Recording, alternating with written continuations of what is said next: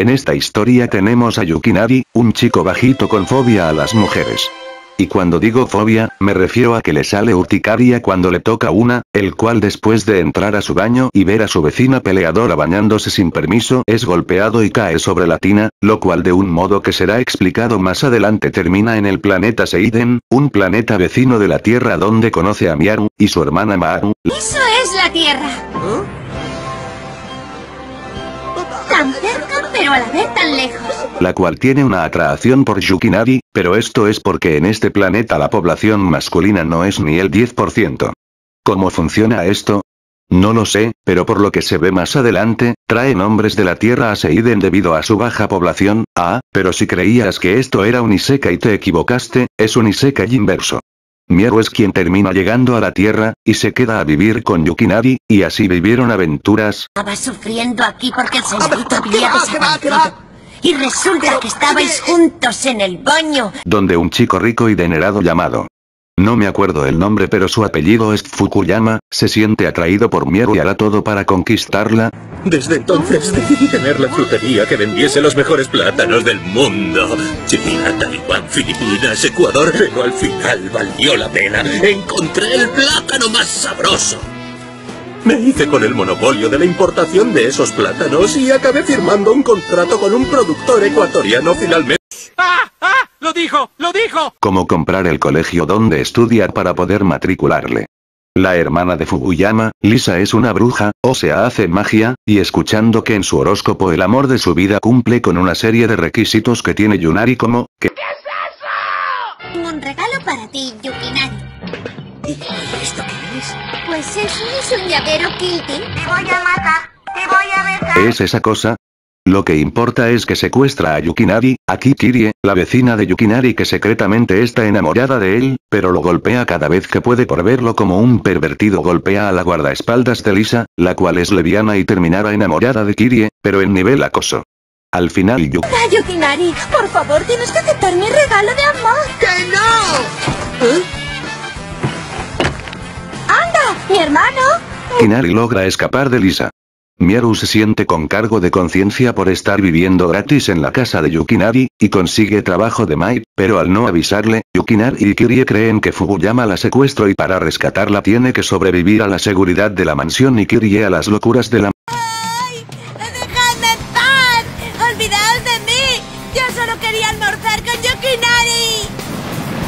pero resulta que en Seiren es ilegal viajar al planeta Tierra sin licencia o sin permiso, por lo que envían a una chica Koyomi, a que regrese a Miaru, pero se golpe la cabeza y no recuerda nada y después de unos acoso por Fukuyama recupera la memoria y lleva a Miaru de vuelta, pero no dura mucho porque ahí hacen un arreglo donde Miaru regresa y Koyomi es quien la vigile para que sea legal y junto a ella llega una cría llamada Tomoka, la cual tiene la misión de conseguirle marido a la hermana mayor de Miaru era al revés, Koyomi tiene fobia a los hombres, así que intento de todo, pero se dio por vencida y no logro nada. Me he tenido que poner esta cosa horrenda para traer a los hombres porque tú me lo dijiste, pero esto es un desastre. Tomoka le lleva al primer hombre que encontró, o sea Fubuyama, pero Maharu lo devuelve por ser un degenerado.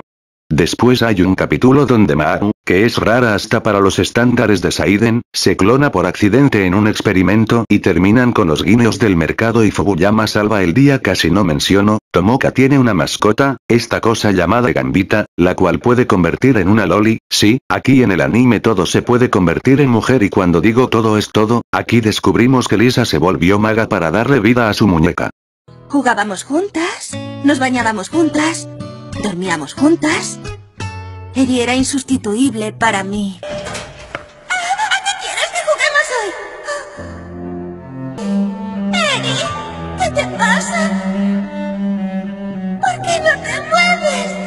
Una rifa, Mieru se gana tres días para ir a un balneario, pero no hay agua, ahí también los Fukuyama tienen su propio balneario, y resulta que no hay agua porque una fantasma está hechizándolo y solo quiere repetir su muerte para poder descansar en paz, no les voy a decir cómo murió porque me censura YouTube ahora, ya con agua se van a bañar, pero Fukuyama compró todos los balnearios y los hace mixtos, y apuestan en un partido si los baños serán individuales de nuevo o si Kirie haga de esponja humana. Al fin. ¿No me puedes poner otra condición?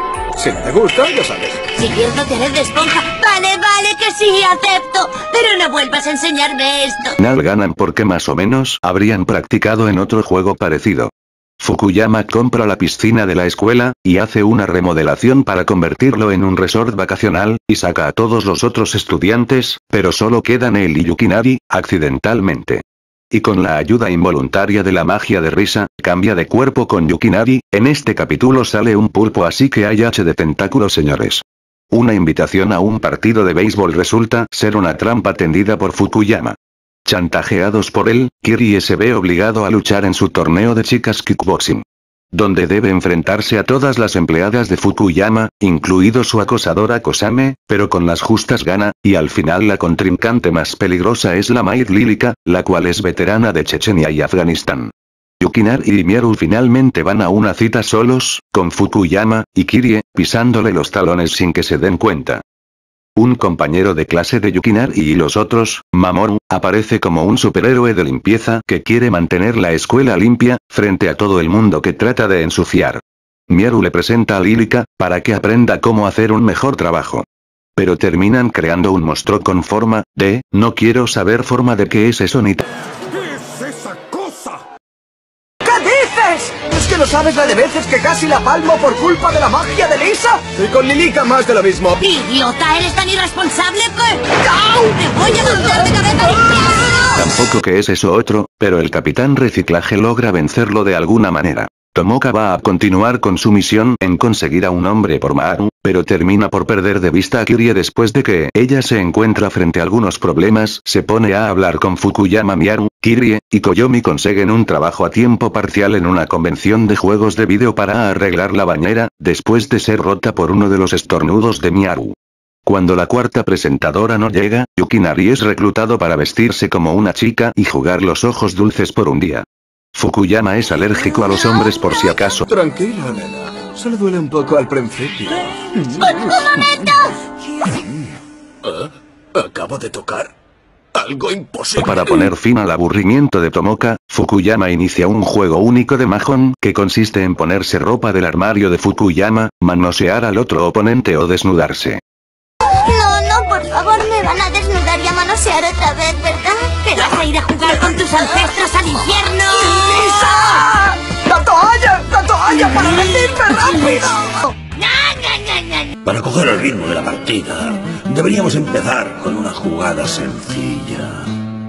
Si nos quedamos con manosear, descartamos orejas de conejo y luego controlamos las jugadas de Ayaki Fukuyama, en el peor de los casos siempre queda lloriquear. Mm, es un plan perfecto. Donde amenaza a Yukinari para que colabore, pero igual pierden al final y deben ir en taparabos a dar una vuelta al parque. Se acerca al festival del instituto y para eso se van a filmar una película sobre unas ladronas contra un espía que se roban máscaras. ¡Mierda! Ya no podré utilizarlas. No entendí bien la película, creo que los policías sabían que Asuntos Internos les tendía una trampa, al final censuraron la película y... Oye, tú, espera un momento. ¿No dijimos que el final sería el contraataque de las conejas fantasma? ¿Qué has puesto escenas tan empalagosas? ¿Qué dices? Y no recuerdo que grabáramos escenas medio desnudas. No sé de qué me hablas. Venga. Se van al festival del instituto donde Miaru, sin querer con sus marcas de la frente trae a su hermana Maru, la cual aprovecha para tratar de encontrar novio, pero no sabe cómo.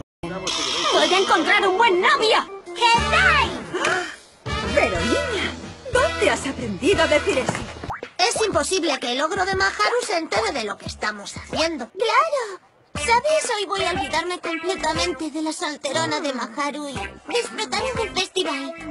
Vaya, vaya. Así que Samaharu es una solterona.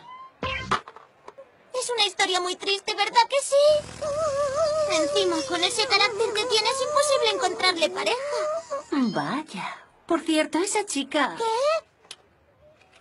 ¿No crees que se parece a mí? Ahí es algo que no había dado cuenta hasta volver a verme el anime, pero la profesora es una habitante de Seiden lesbiana, ya les cuento después porque aquí hay un capítulo donde Koyomi revela que su padre es de la Tierra y su madre al igual que Maru tiene las marcas con la cual puede ir y volver de la Tierra, ahora sí, Mieru se va a comprar unos regalos para sus amigos, Yukinari después de golpearse la cabeza descubre que se curó de su fobia y Mieru es secuestrada por su profesora.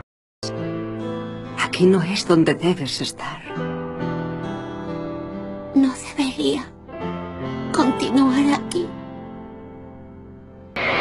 Y cerraron el portal, por lo que no podían regresar, pero con un último llamada se enteran que Koyomi por ser hija de alguien con el poder de Miaru tiene el mismo poder y los lleva a Seiden, Fukuyama se queda con las chicas, Lisa y Tomoka se enfrentan a unas criaturas y Kirie y Yukinari llegan a salvar a Miaru, ahí resulta que esta conspiración la hizo una chica llamada Yukina que también tenía marcas en su cuerpo y creía que ningún hombre la querría, por lo que llegó a la conclusión de que nadie debería encontrar el amor verdadero y conspiró para sellar permanentemente el vínculo entre Seiren y la Tierra con la ayuda de Ishiri Kanata.